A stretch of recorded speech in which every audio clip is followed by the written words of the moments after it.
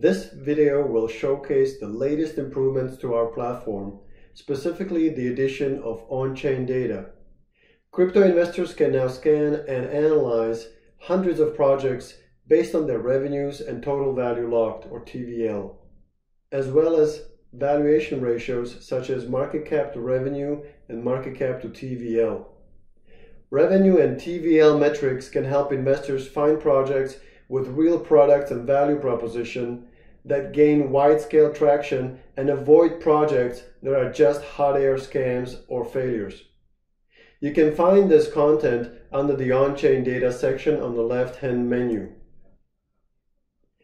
And the new on-chain analytics include total revenue and market cap to total revenue comparison, protocol revenue and market cap to protocol revenue ratio, total value locked or TVL and market cap to TVL ratio. You can find the explanation of these analytics under the help section by clicking on the question mark.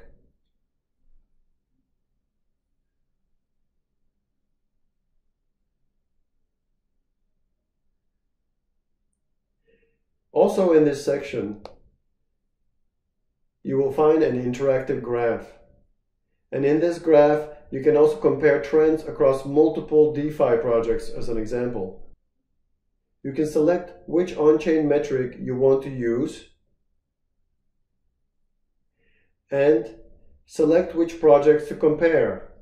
For example, in the DEX or Decentralized Exchange category, we can compare revenue across multiple DEX competitors, including Uniswap, DYDX, Osmosis, 1inch, and we can also add SushiSwap, for example. And then we can also hide some of these values and extend or change the time horizon for our analysis. Below this graph, we also have tables showing projects with the fastest or slowest growth in revenue or TVL over the last seven days under the weekly gainers and weekly losers section. So now with that, investors can find projects with recent increases in revenue, which could indicate growing user adoption and could have a positive impact on the token price. Clicking on see more will take you to the screener section, specifically the revenue tab in this case, where you can see what the revenue was, total revenue over the last seven days, and what is that seven day change, increase or decrease. You can also see what that revenue metric was over the last 30 days and what's the change over the last 30 days. Uh, you can also see the protocol revenue, similarly 7 and 30 day statistics. Here you will also find additional tabs such as market, market cap to revenue comparison or ratio, which will also show you the change in that ratio over the last 7, 30 days or 90 days. And similarly, we have a market cap to protocol revenue and finally, the tab TVL or total value locked will also show you for those projects that have a TVL will also show you pertinent statistics. Now, by selecting one of these results,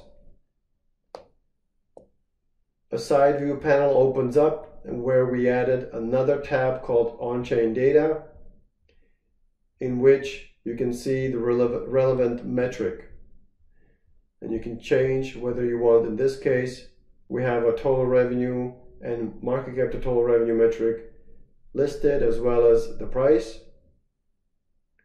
But you can change that and select protocol revenue and market cap to protocol revenue instead, or just look at the TVL the progress now, below that graph, you also see a summary of the growth rates or change changes in the relevant metrics, total revenue, protocol revenue, and TVL, which could be also indicative of the, the project's strength and user adoption. We hope that the new on-chain data and analytics will help you improve your investment process. Thank you, and we look forward to your feedback.